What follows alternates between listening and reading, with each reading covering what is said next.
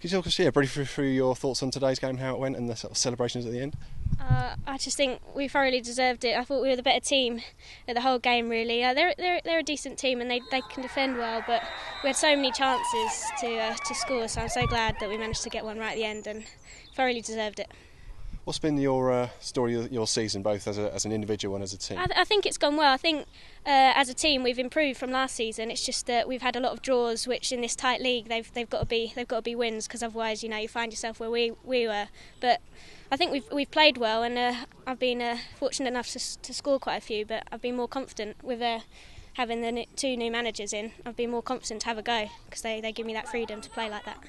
And it looks like you're very likely going to be top scorer. What are your thoughts on that?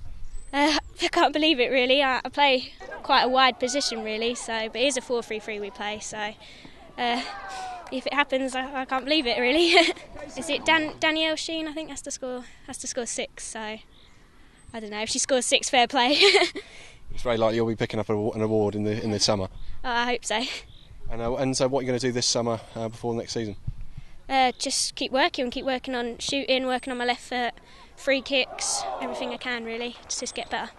And you're going to be watching the uh, the Super League? Yeah, yeah, I've been watching it. it. It looks really good. It looks like our league really competitive. It looks like draws quite a lot as well. So, you know, it's really tight. And you're going to be here next season with Watford? Oh, definitely. I love Watford. They're my team.